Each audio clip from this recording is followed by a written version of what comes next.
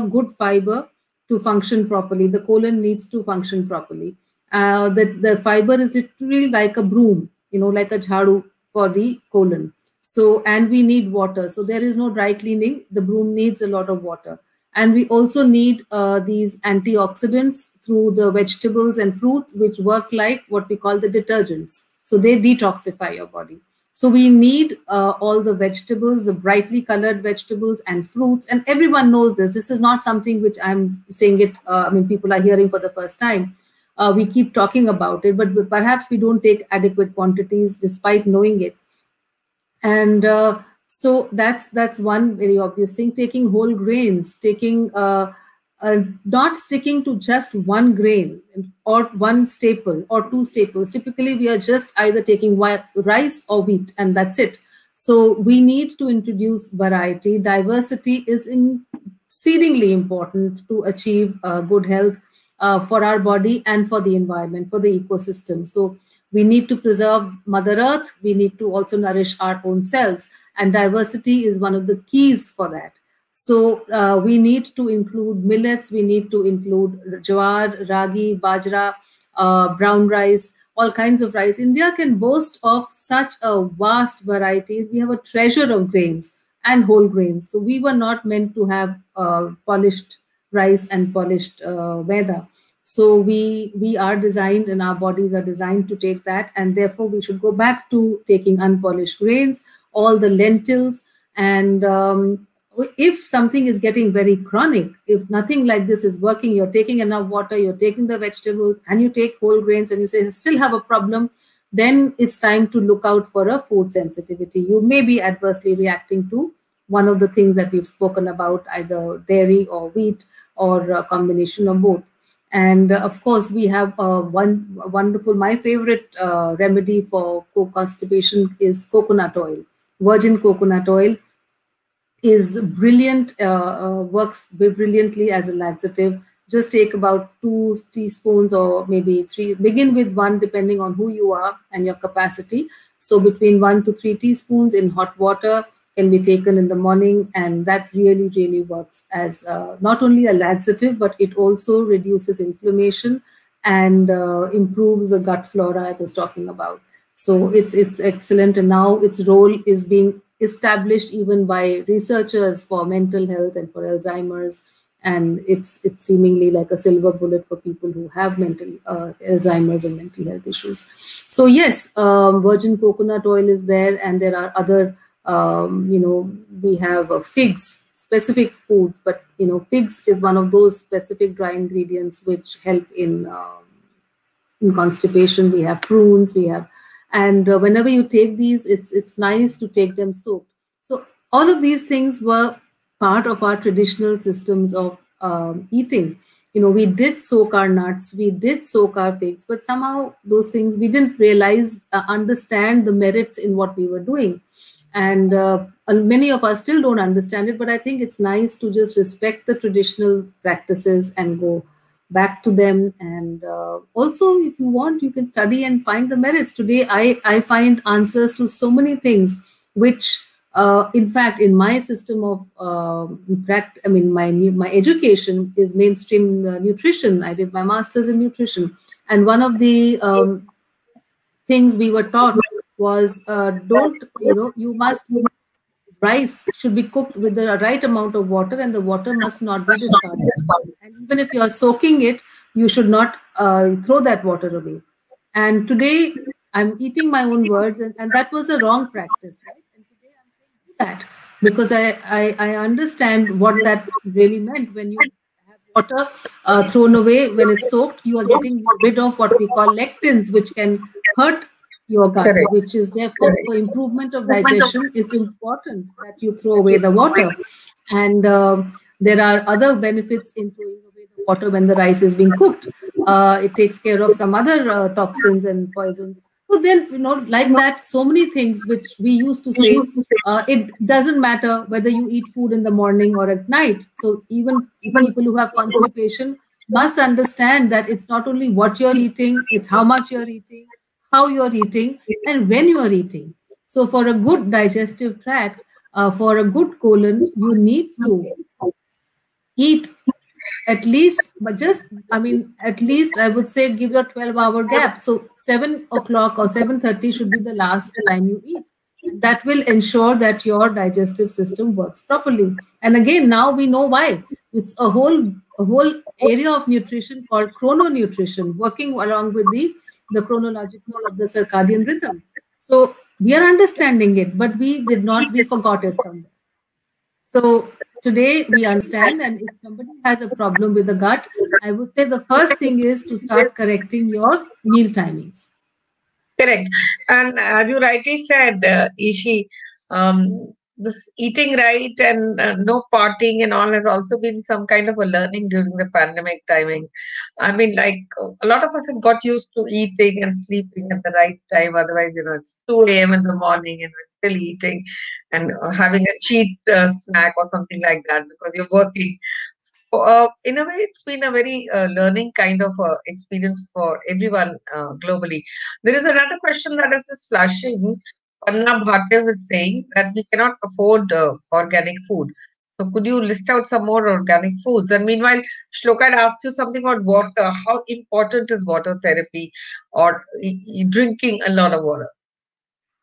I think uh, 70% of our bodies are is water and we it is important to function. Basically even all your nerve impulses also in the body the messages in the body the neurotransmitters all of that transmission is happening when there is water. If there, there is less water this is going to suffer. Your functionality is going to suffer.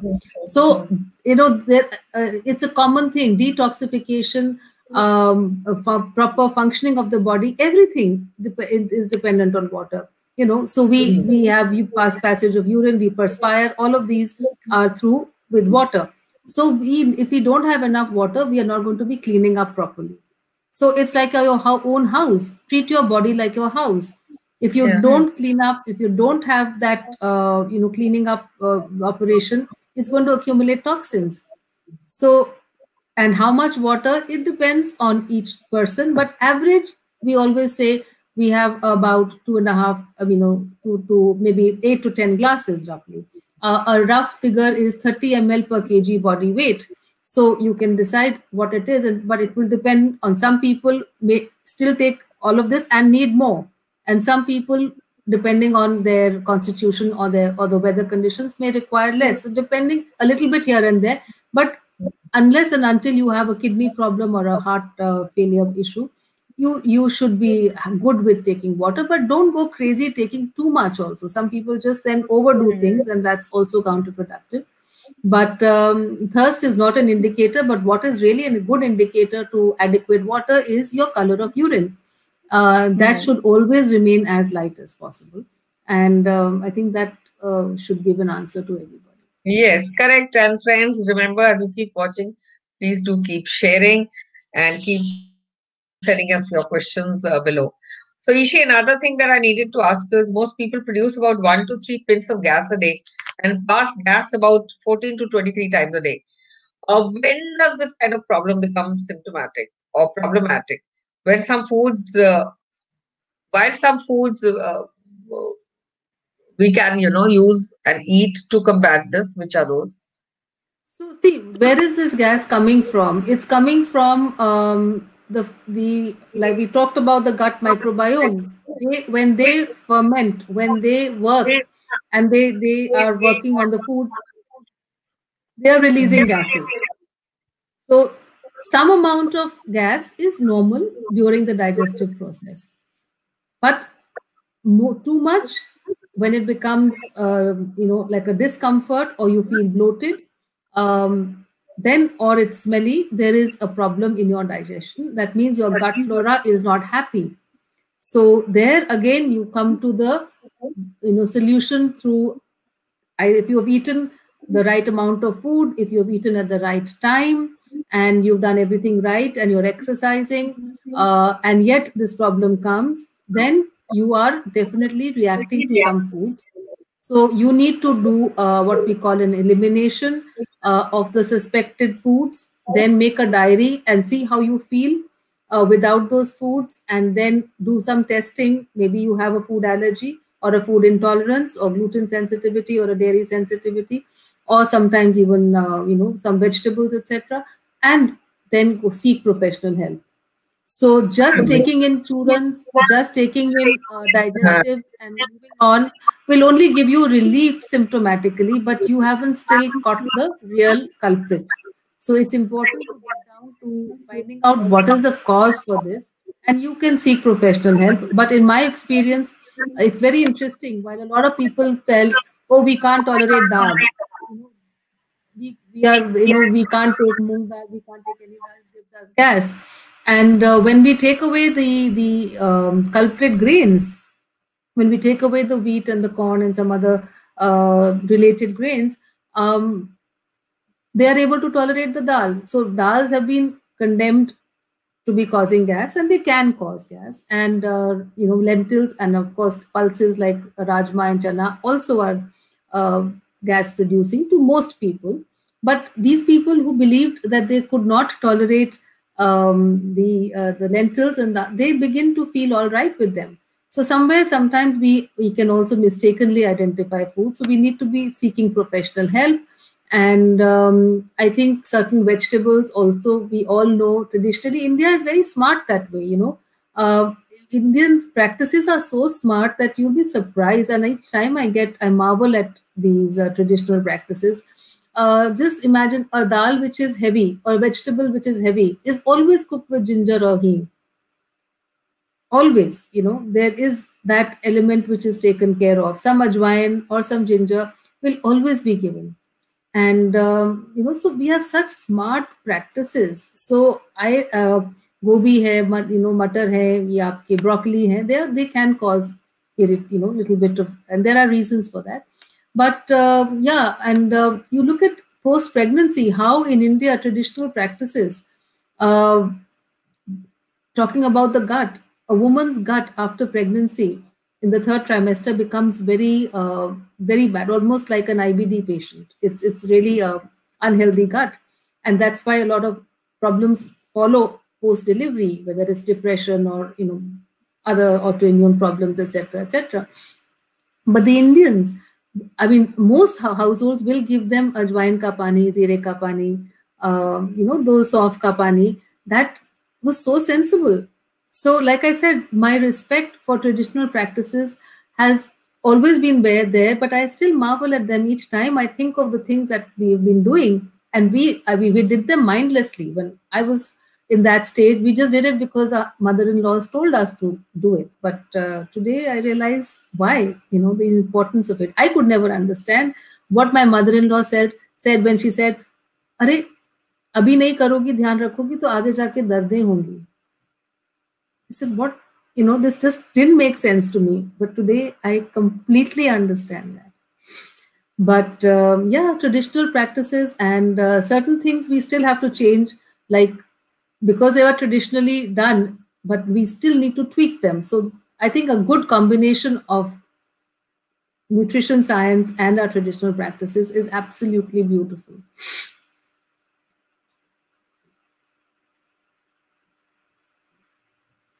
empty your bowels first thing in the morning anything that you can suggest uh, one is of course you mentioned about the coconut uh, oil uh, remedy which is putting i think two to three tea tablespoons or teaspoons in warm water anything else that teaspoons in anything else that you can but about? like i said there is papaya there's guava we have all these various nice fruits which are laxative in nature um, but they're all known to people. They don't need me to tell them. But what is not known to people is a magnesium deficiency. It's an uncharted area, completely uh, unrecognized, and uh, will be difficult to you know even establish the deficiency. But we know for a fact that uh, we are not absorbing. Whether we are not taking is one part, but we are not getting enough magnesium into our uh, cells. So uh, perhaps because of malabsorption um, like many others, like whether it's vitamin D, we don't have enough, vitamin B12, iron, they're all, you know, we are on critically low levels. And uh, this one, unfortunately, we can't test for. We, we can test for, but it doesn't reflect the cellular levels. So it's difficult to establish this deficiency. But anybody with constipation is definitely seriously uh, magnesium deficient and needs to, therefore, I said, seek professional help and take a supplement. Uh, I wouldn't recommend people taking supplements on their own, but they have to be taken in a specific way. But a magnesium deficiency is one of the most uh, effective way of, I mean, correcting a magnesium deficiency is one of the most effective ways of dealing with constipation, in my experience. Then there is a question which says that uh, what should we include in the diet for one to two year old kids suffering from severe constipation? Can the kid continue to breastfeed? Oh, yes, and it means like coming back to the same uh, instance which I told you. So the mother needs to watch her diet, and uh, if such a small child is suffering from uh, constipation, then I think uh, food sensitivity looks very, very probable. So they should look out for changing the grains, giving the baby ragi, jowar, and not giving them wheat and not giving them dairy and seed. I've had this one case who came to me. She was 11 year old, uh, 11 year old girl with literally a pot belly. You know, she had, she was gaining a lot of weight, but she also had a huge tummy. And the mother again complained that the child had severe constipation. She, she would again go once in three, four days, sometimes longer and it used mm. to be so hard the stool used to be so hard that uh, it used to bleed and she used to cry you know so it's unreal for a child and she said i've been to everybody under the sun i mean in my city mm. the top names i have visited in hospitals and uh, private practice and nobody seems to be able to correct my child's uh, problem and they keep saying fiber do or ye do wo do to wo mm. kaam nahi kar raha and um, to the extent she said it was bleeding so much that she thought that the child was getting a period early in, in that oh. age. So it was that bad. And so this is just to tell you that, you know, people are suffering and we just removed these two elements and within the first week she responded and after that she was within three months when she finished her program with me she was so grateful the child had become a normal child so we do miss out on these things and um, sometimes it can really be and there is not only See, constipation is one manifestation of inflammation or a bad colon. So it will not stop here. The constipation is only telling us that something that is being eaten, eaten is wrong. But the manifestation can be in the form of autoimmune problems. It can be in the, you know, she can develop a thyroid, she can develop a hair fall, she can develop polycystic ovaries or joint problems or men, you know, other problems. So these are just the body is telling you, the body is talking to you. So we need to take cognizance. Ishiji, since we've spoken about children, uh, Madhu Jain writes in, what are some of the best nutritional food for growing up children? Please let us know some basics. Uh, as a mother, I think we all know what is important for a growing child, but let me re repeat it that a child, first of all, needs adequate calories, sufficient food. Uh, the child needs sufficient proteins. And uh, I think just a well balanced diet is what is needed with lots of plant food thrown in, uh, fruits as snacks. Just remove remove the junk and go back to the traditional forms of eating, and that's what a child needs. Uh, yes, dairy is needed. Um, if if your child can tolerate dairy, then I would definitely recommend uh, milk in whatever form, dahi, paneer, whatever and uh, nuts and seeds and good fats pretty much what an adult requires. And uh, just ensure that this child is not showing any signs of any uh, problems by uh, which we probably ignore. Like if there's acne or if there is a hair you know hair loss or if there is a deficit of energy or there are some uh, sleep issues or some mood issues or some other you know digestive issues then you need to work on specifics for the diet. Uh, but um, overall, if your child is healthy and uh, all right, a well-balanced diet with uh, you know with good meals and uh, having healthy snacks is is common sense. And ensuring some raw vegetables also is important. Ensuring the greens are there, ensuring the amlas and the vitamin C is there, you know, and um, you know the seeds, etc., which can be very easily put into their foods um, so, and yes, children also like their variety. So make sure that the ch child is eating with, you know, is enjoying his food. And there's something to see to be said about uh, food, uh, you know, which I must add here.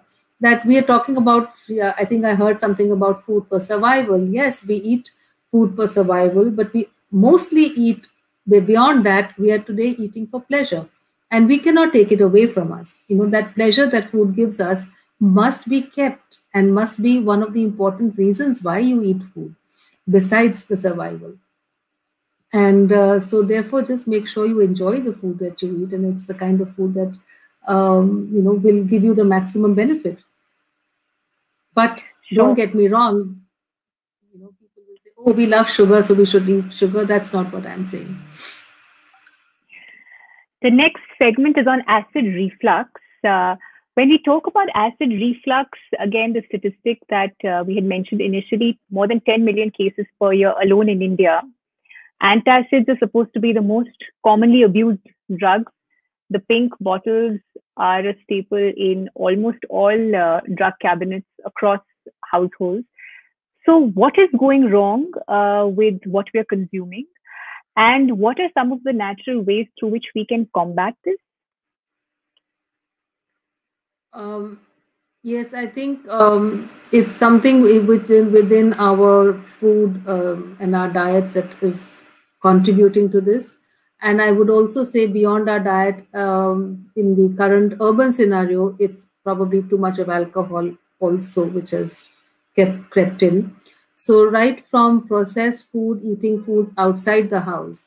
Uh, now I, I have a lot of patients who say, you know, when we eat this food, um, um, it, at home, it's fine. But when the same food we eat outside the house, it gives us acidity.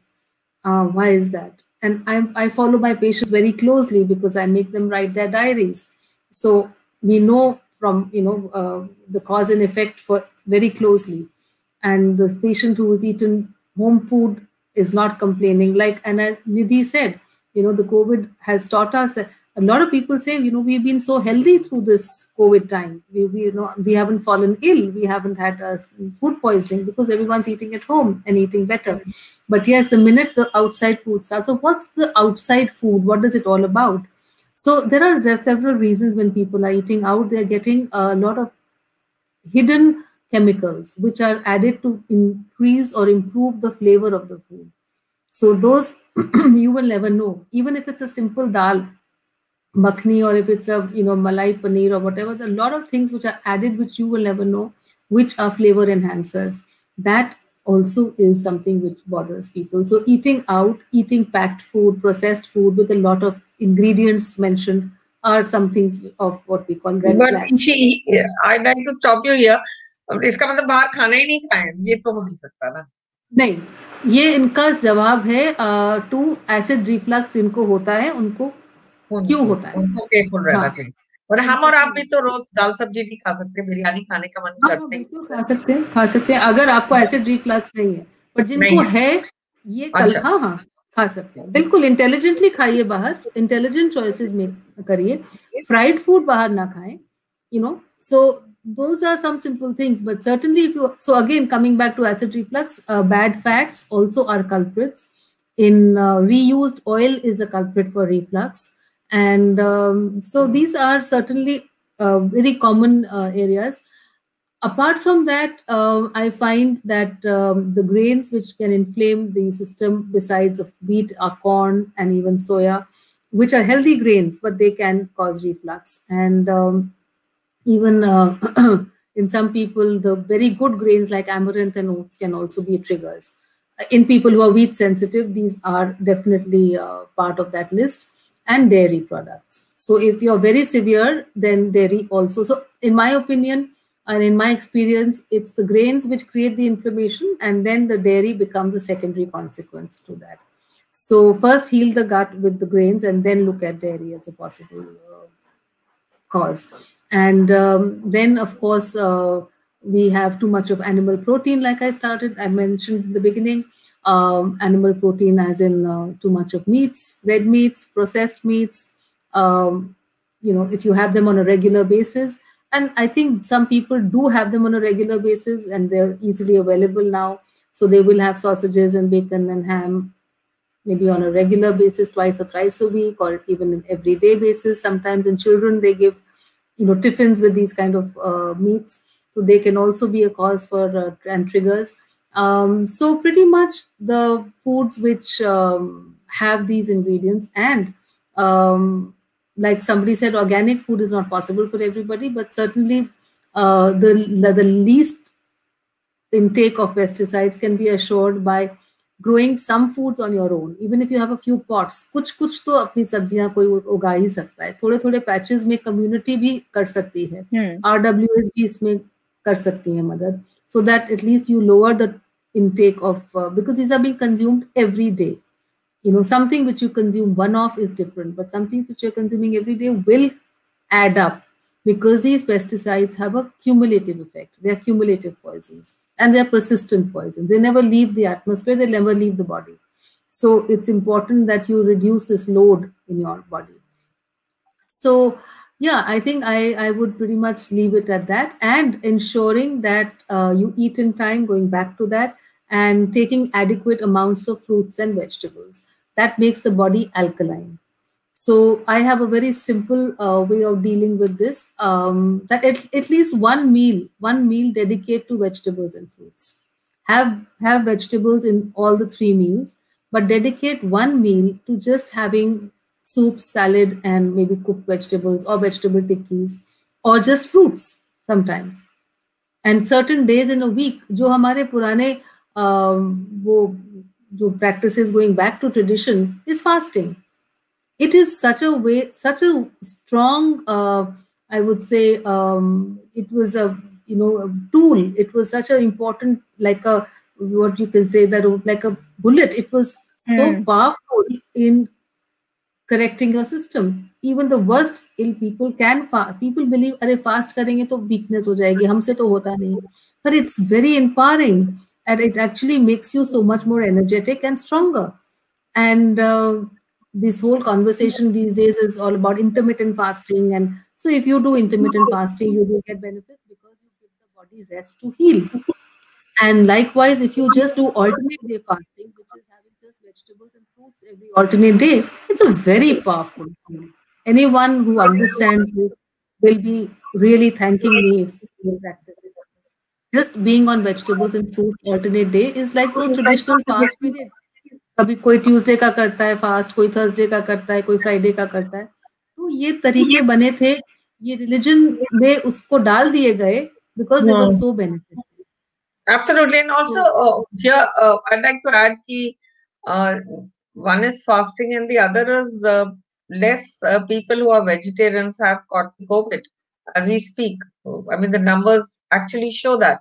So it is time to at least if you are a non-vegetarian, then at least twice a week you should abstain from having non-veg. Is my suggestion. Though we are all vegetarians here today, so I, I really don't know. Um, but that's a very very nice thing to say. Absolutely. Have less. And uh, yeah, yeah, I think uh, it's such a simple thing to do. You know, and it's a question of also changing your palate. जब आप इतना ज़्यादा processed food खाते हो तो आपको fresh चीज़ों की को पसंद ही नहीं आती you know you don't enjoy those but you have to change your palette then when you start eating right then the body doesn't like unhealthy food it, it works both ways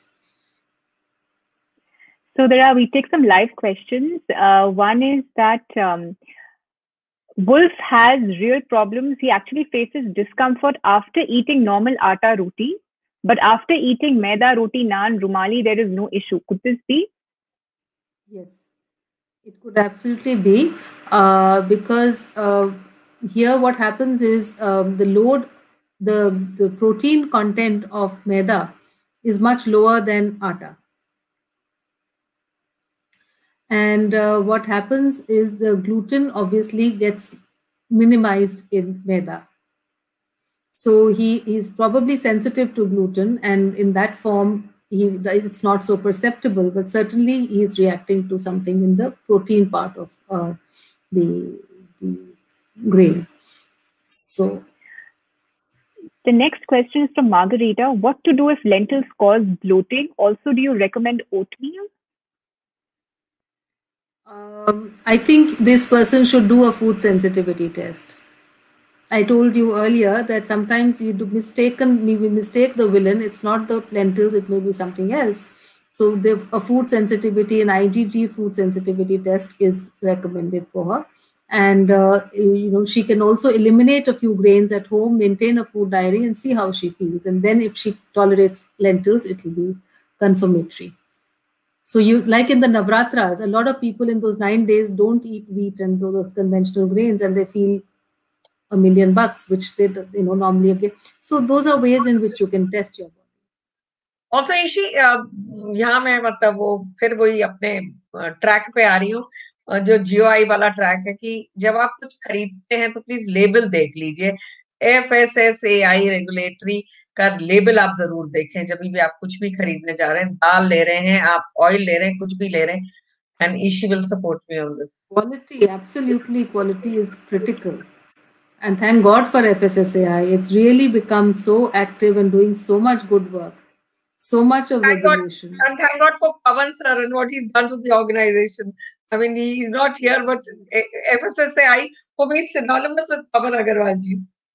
Turned it around completely. Absolutely. What a wonderful job the GOI has done. Absolutely. And at me, we are probably at level you know levels where globally people are still haven't reached. So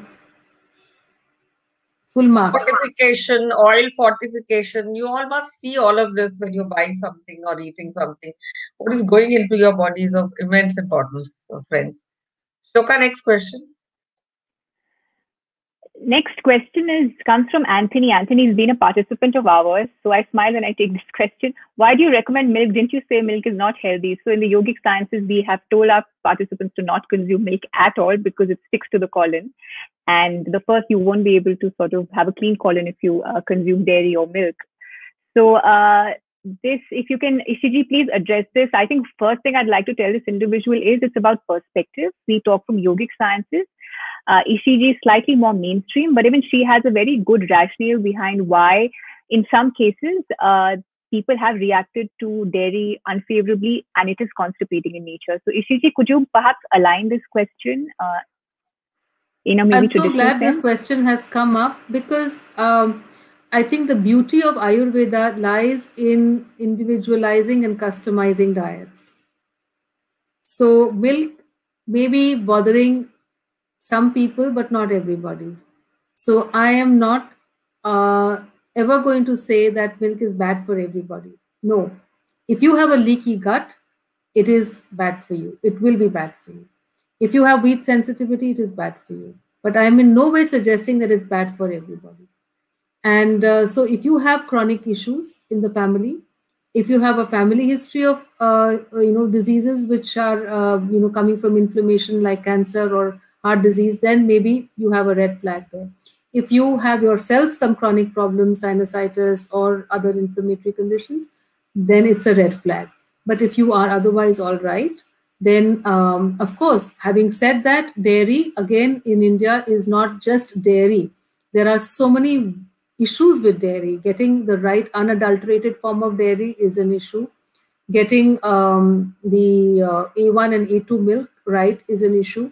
So I think uh, there is, you know, A1 is uh, inflammatory and A2 is less inflammatory. So it depends on you and your gut.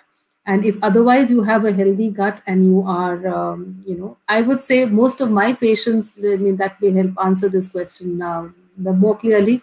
People who come to me in general, I, I, I, I do not ask them to go off dairy in the first instance unless they have a disease. I mean, they have some struggles and then I definitely take it out. But uh, that's not the first step that we work with. But yes, autism, and so it depends on who you are. Let's let's put it that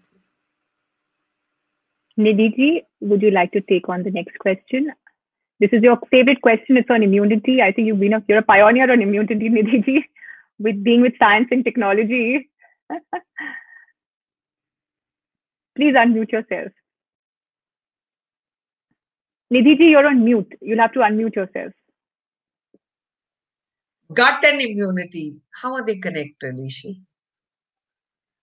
Ah, the gut and immunity, oh my God, they are like your immune system is in the gut. It's two thirds of your immune system, or you can say whatever literature 70% or 80% of your immune system sits in the gut. And we spoke about the gut microbiome these are the these are your arsenal. These are the real fighters for you. So if you have a good gut flora you will definitely have a good and a strong and a robust immune system. They they not only make those inflammatory the uh, immunomodulating and the kind of your army your immunoglobulins etc they also determine what food you are digesting and absorbing. Mm. right so even your nutritional status, whether we're talking of zinc or we're talking of vitamin C or we're talking about iron or we're talking of vitamin B12 or we're talking of vitamin D, A, B, C, D, whatever it is, it is these bacteria and fungi inside which determine the absorption levels, yes. whether you're absorbing optimally or no. So right from your nutrition to the body's, uh, you know, the immunoglobulins and the, you know, the arsenal that I call them, they are determining everything the inflammation in the body is determined by them. So and we we have uh, you know uh, we have data to say that people who have inflamed bodies are far more um, you know in terms of their immune systems more prone to getting the infection. And once they get the infection they are far more likely to have uh, you know, negative outcomes and mortality compared to those who, who are not. So there is a whole, uh, you know, I think gut and immunity are so intertwined with each other that uh, you cannot have a healthy immune system uh, without having a good gut. And uh, I think uh, the best way to uh, explain that will be through, um, you know, courses of antibiotics. Every time, what disturbs the gut flora? It's these, also these medicines. the medicines which we were supposed to take in crisis time with discretion, with a lot of prudence are now becoming just for the common cold and flu. So every time you take an antibiotic or you take a course of any uh, prolonged course of an, your uh, uh, steroids or your painkillers or anti-inflammatories, whatever you eat as medicines, will destroy your gut flora. A single course of antibiotic can destroy your gut flora so you can imagine your immunity is gone. And don't you experience that? That once you took a course of antibiotic, two two months later, again you got the infection, and then again you got the infection, and it you get into a spin. Mm. And whether you get the same infection again, or you get a UTI, or you get something else, certainly you know that by observation. Absolutely, so well said, and uh, you helped us understand. Um, Shloka, gut and mental health, maybe. Yes, I think Sadhguru has spoken, spoken about spoken about this, and uh, unclean colon and psychological disturbances are so interlinked. Um, it has been scientifically observed that mood disorder, anxiety, uh, depression are about 50 times higher in patients who are constipated vis-a-vis the general population. So, can you please shed some light on this, Ishiji? Again, um, it's the gut is actually called the second brain if there are we thought this was our brain and this was controlling our emotions and everything. Yes it has an important role to play but if there is one message coming from the brain to the gut this is called the gut brain axis. They are connected. And if there is one message which is coming from the brain to the gut there are eight messages which are coming from the gut to the brain Hmm. So you can imagine how active this is and how this is controlling. This is the control center. It's a panel, like I said, the control panel. Most of the serotonin, 80% of the serotonin, the dopamine, and the tryptophan are secreted in the gut. 80% of the melatonin, which is also anti-inflammatory, is secreted in the gut. So you can imagine, and it is what is what is this orchestra being played? The orchestra is being played by the gut microbiome. So if they are unhappy, if we don't mm. treat them well, if we give them foods which they don't like, if we put them, uh, you know, we, we put chemicals in them, or we put food un, which is unhe- unfriendly or unhelpful uh, for them, um, we are going to have a problem.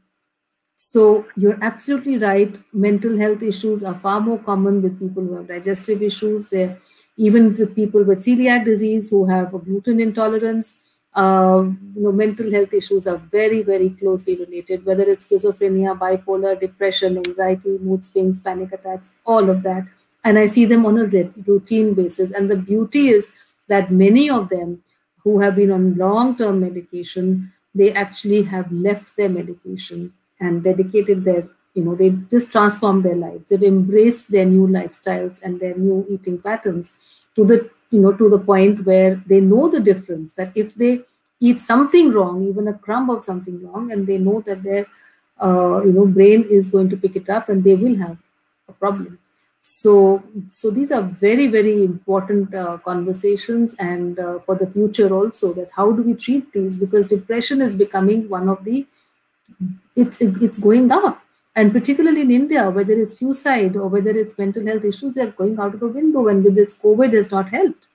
So it's hmm. just adding on a burden and a whole dimension to our healthcare system which was not there earlier. Uh, we didn't see those kind of problems. So and uh, behavior issues in autistic children it's like i was talking to you. I i see it all the time. And the, what is the treatment diet uh, treatment. Of course they have medical treatment as well but the dietary management of uh, these kids is a very very strict gluten free and casein free diet which is a gluten free diet and a milk free diet dairy free diet. And um, this these children come around so beautifully. I had this one child who used to bang his head on the wall to a point where he could get injured. He would you know he had sores on his forehead and this he was on medication. He was taking treatment from his from the center for autism and uh, going to school in in a very dedicated uh, facility where there were professionals and experts in this area.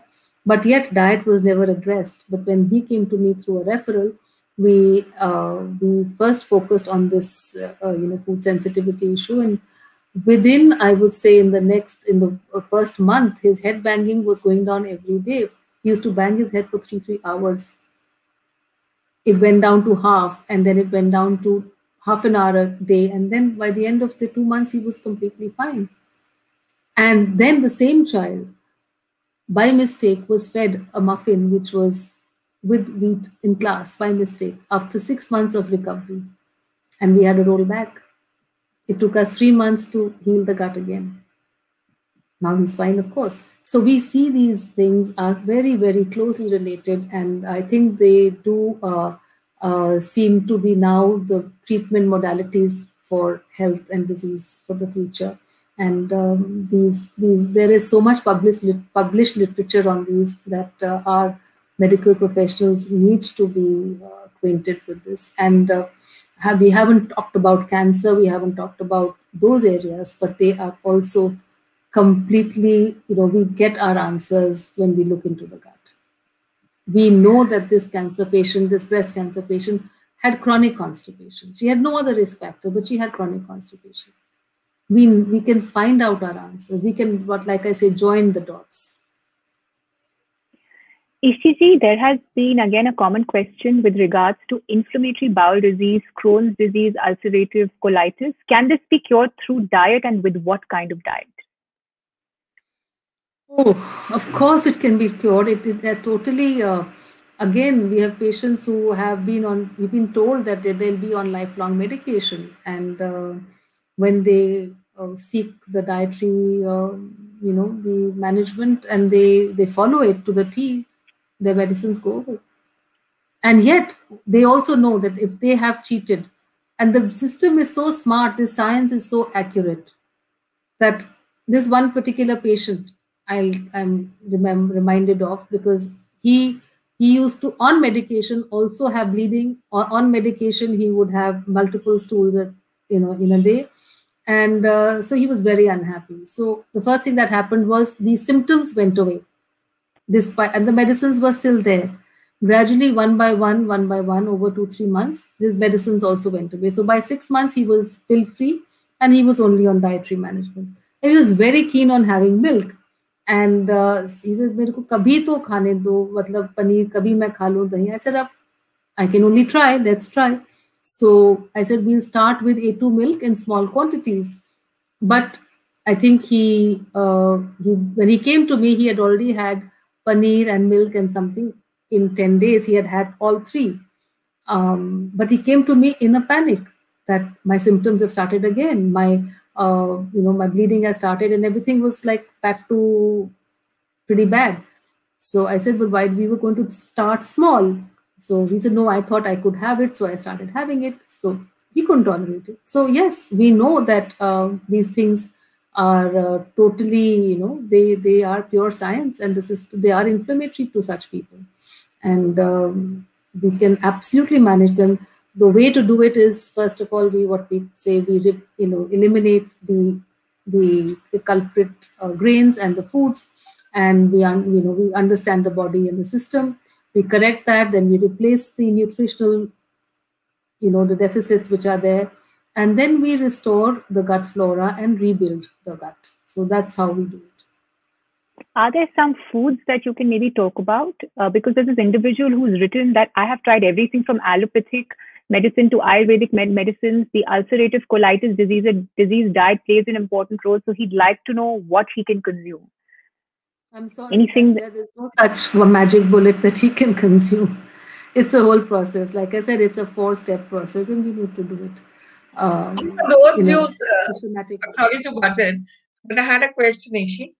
Um, yeah. Maybe for those who cannot have milk and paneer and such like things, they they also can't have things like ice cream and all i'm sure you give certain other things so that oh, the, yes. you know, child is not feeling bad that's a wonderful know. question nidhi kyunki aajkal jo availability hai of alternatives is mind blowing ah, Correct. You're getting you can get vegan cheese, you can get ice creams with uh, with almond milk and milk, milk and no additives.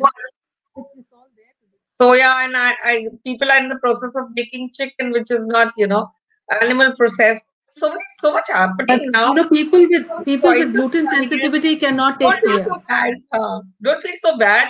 Uh, if you go to good people, you get good choices and then you can you know make up your mind and not keep thinking oh i can't have milk i can have paneer i can't have that can't there are choices I, I was actually feeling bad you know what what that child must be going through ye bhi nahi kha sakti ye bhi nahi kha sakti ye bhi nahi the whole day you keep thinking you know rethinking in your mind मैं खा नहीं सकती क्यों नहीं खा सकती you know that kind of thing yeah, yeah, and and we it's a process of embracing it. So this one patient recently had a daughter, has a daughter, And uh, she she became absolutely all right she used to have uh, vomiting and you know tummy aches etc very bad violent vomiting वो सब ठीक हो गया and then she thought अब मैं ठीक हूँ तो फिर शुरू कर दिया फिर से वही बातें होंगी and you know so we know that and uh, some when she was absolutely okay कभी वो जो चीज़ इवन चिप्स में अगर मैदा है तो उसको तंग करता था उसको you know so she understood it but yet she went back into reintroducing those foods and it it was a rollback. So people who suffer active symptoms they definitely don't want to go that way. But people who don't have active symptoms and you know say they don't they don't have diarrhea and they don't have vomiting um, they don't recognize the importance of this. But if they have a skin problem which is you know just not bothersome they will continue to you know try and introduce kabhi kha तो immediately पता नहीं चला but the fire is lit the inflammation will happen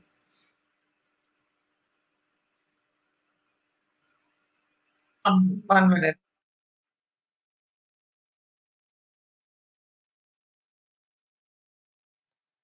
if not milk then buttermilk is that a substitute is that a question yes yes uh, unfortunately these are so customized that I cannot answer that. Some people, yes, some people, no. It depends on who you are and what we are treating. Right. And as uh, as a mainstream, like she said, mainstream, we are trained not to remove things of, if it's unwarranted. So I would like to give you more variety. I don't like to take out things. When I do it, I am compelled to do it because I know it won't work for you. But uh, without reason, I wouldn't put it out because buttermilk is good. I mean, buttermilk is wonderful for people who can tolerate it. In fact, from the yogic point of view, since he's asked us, uh, Jaya Preeti Sampath, uh, Akka, buttermilk is actually supposed to be a very highly pranic food substance. In fact, during summers, this is a fantastic drink. drink. So, from the uh, yogic point of view, what I'll have to say to you is that the properties of buttermilk are very different from milk. So by all means, it's a go ahead with buttermilk. No problems at all. From the yogic point of view, since you asked. Yes, uh, Nidhiji, would you like to take on the next question? Uh, what are your views uh, on uh, natural laxatives, uh, Ishi. Uh, things like isabgol, triphala. People are, you know, addicted to these kind of things. And they're also taking uh, regular enema these days. What about all this? I would say uh, one thing very important that if you don't have any obvious reason for constipation, you're not on any you know, constipating drugs or anything, please try and find out why you have constipation. Your answers may be in the food that you're eating. And we don't want habit forming laxatives. Isabgol is not habit forming, so I'm all for it for other benefits. It's a prebiotic and it's a wonderful uh, bonus to your diet. So go ahead and have it. Triphala also is not habit forming, so go ahead and have it. But you know, if you are needing them or depending uh, on them every day, there is a problem. So you, like I said, there could be nutritional deficiencies could so you something in the food is not agreeing with you. So go take a deeper dive, take professional help, and find out what it is, rather than an occasional laxative here and there hurts nobody. An occasional enema hurts nobody.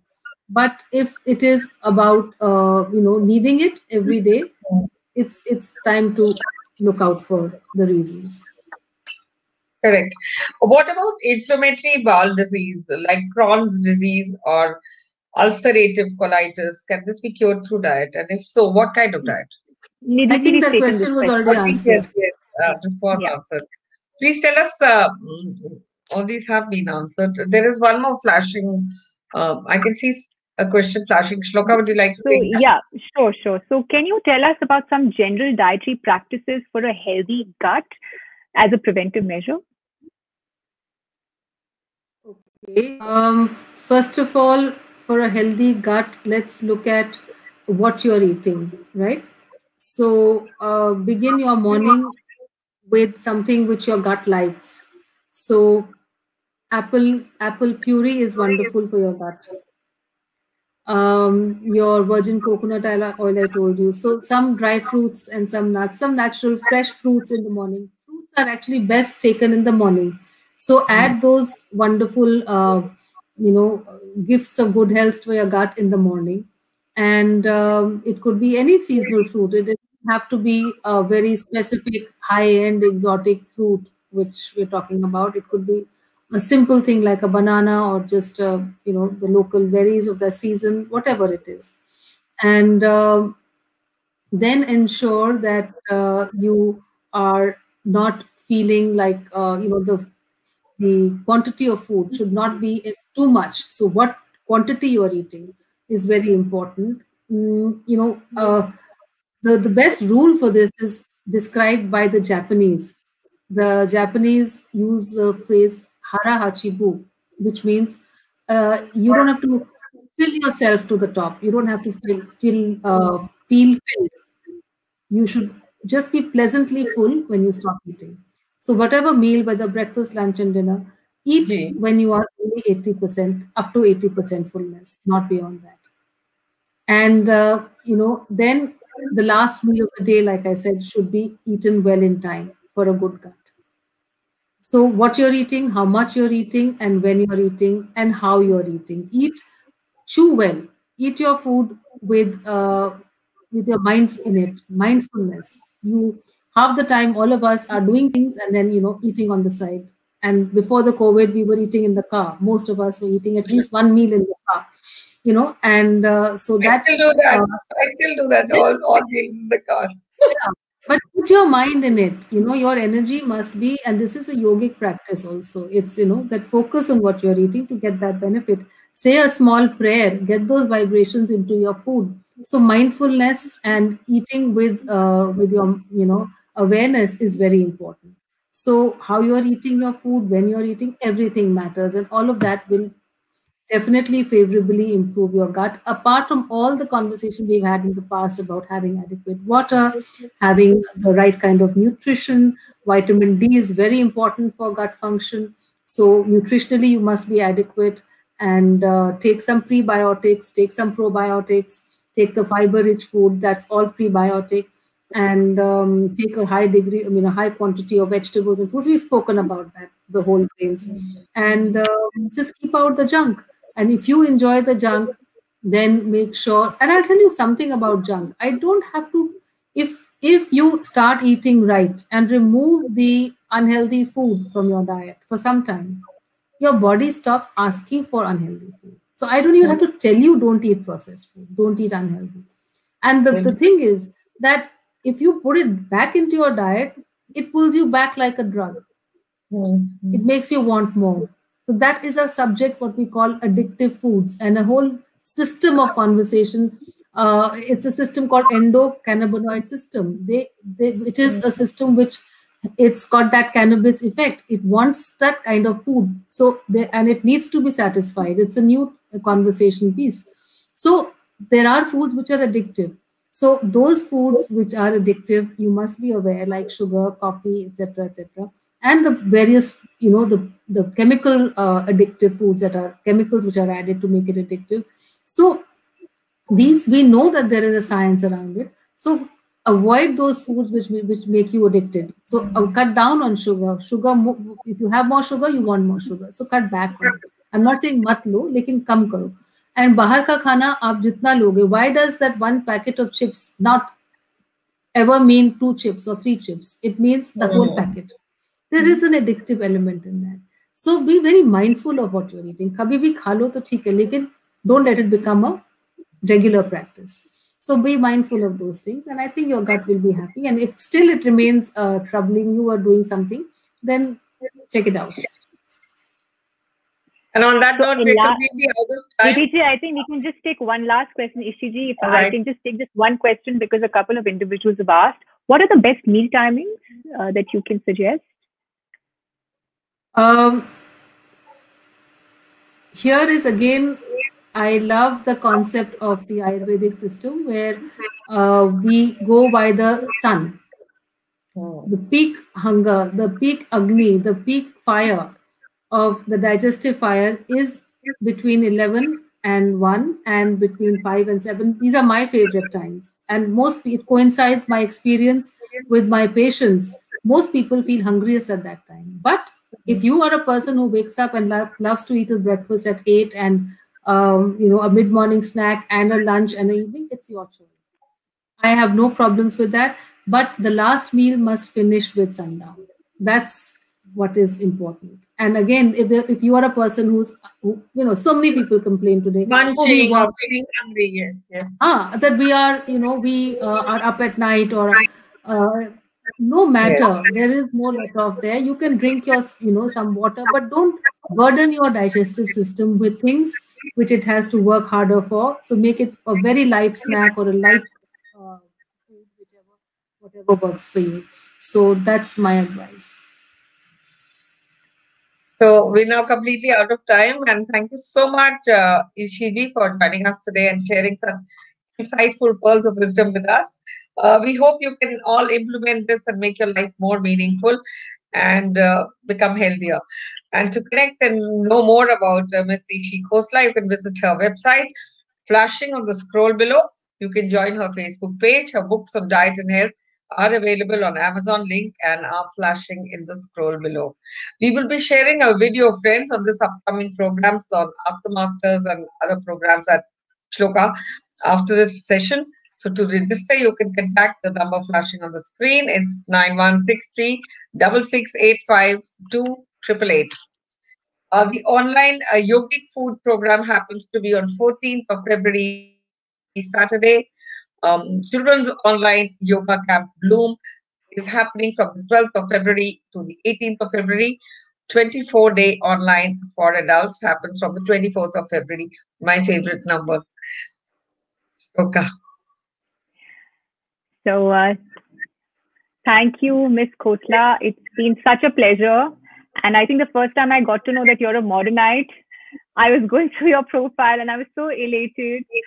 So it's been such it's been a such a pleasure to have too. you. Yes, 2009 pass out. Ah. So thank you so much for gracing us, and we've had a wonderful time. Uh, participants have enjoyed the session. Um, so words glad. are I know, Words look at the are really- session flashing in. Uh, Shloka, we Sorry? must have a round two with the I- Ishi ma'am. Absolutely, absolutely, with pleasure. I've always loved listening to her. She's so good. Thank Nidhi ji so is a fan. She told me Ishi is fantastic. Ishi is fantastic. Oh. She's truly, truly so a I'm so happy to contribute to this. It's a passion for me, and I'm really, really. And I think it is glad. the need of the, uh, you know, are to adapt uh, to wellness and health practices so that we can, you know, absolutely battle not only this pandemic but the others that may be coming. Yes.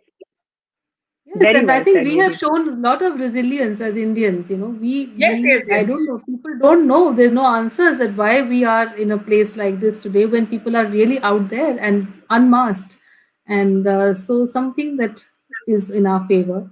And uh, touch wood for that. Yes, touch wood for that. And I and, think we have the advantage of the Ayurveda.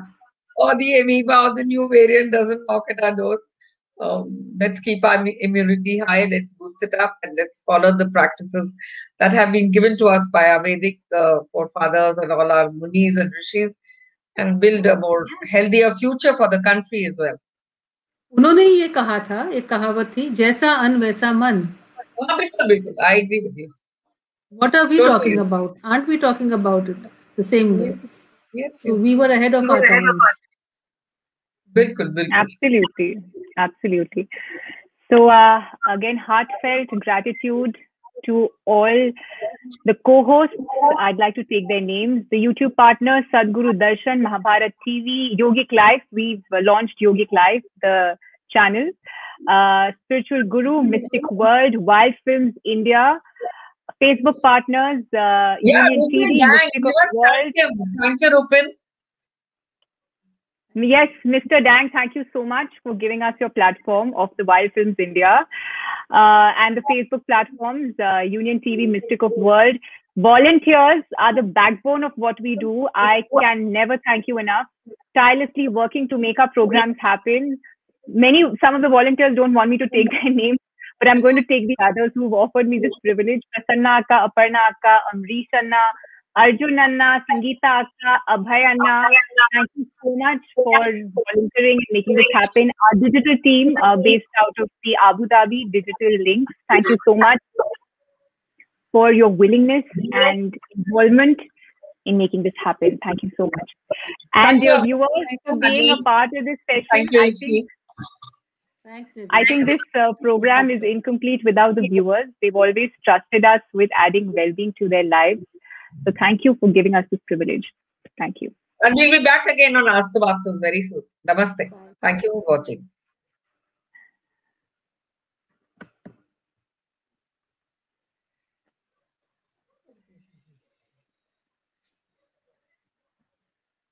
Thank you